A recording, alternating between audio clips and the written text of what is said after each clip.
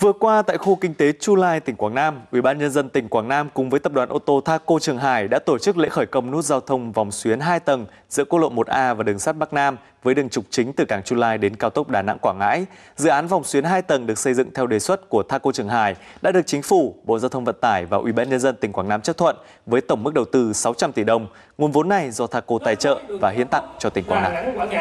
với lãnh đạo các sở ban ngành Dự án do công ty cổ phần tư vấn và xây dựng Tân Phong thiết kế bao gồm vòng xuyến cỡ lớn trên tầng 2 có đường kính 80m để giải quyết giao cắt với đường sắt cho tất cả các hướng ra vào khu công nghiệp và cao tốc Đà Nẵng Quảng Ngãi. Đảo xuyến nhỏ ở phía dưới quốc lộ 1A là 50m, dành cho các hướng đi trên quốc lộ 1A và cảng Chu Lai, có phần điều chỉnh giao thông cho ba giao giữa quốc lộ 1A với đường vào cảng, đồng thời xây dựng một cầu bộ hành vượt qua đường sắt nối từ đường khu công nghiệp sang quốc lộ 1A. Công trình dự kiến được hoàn thành trong tháng 8 năm 2018.